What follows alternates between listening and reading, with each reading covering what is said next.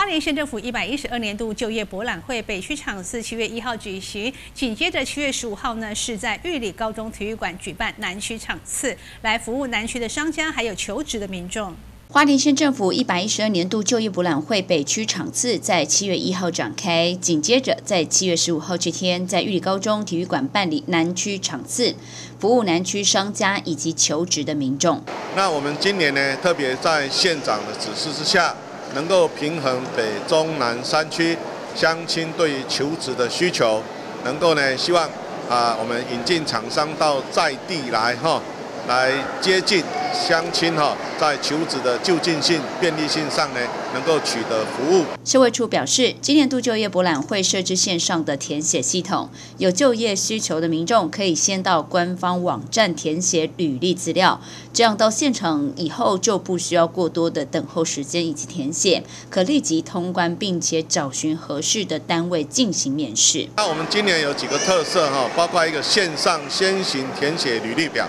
那南区这一场已经有两百四十位的啊乡亲来线上来填写履历表，这是一个运用现代社会这个智慧治理的一个啊好的一个现象哈，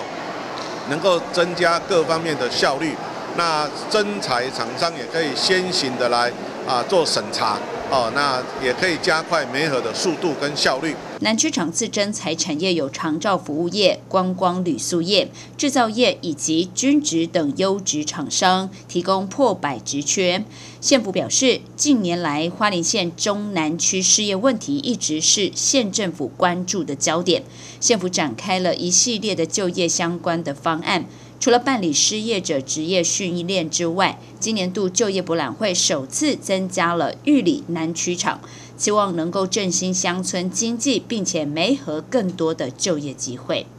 记者高双双玉里镇采访报道。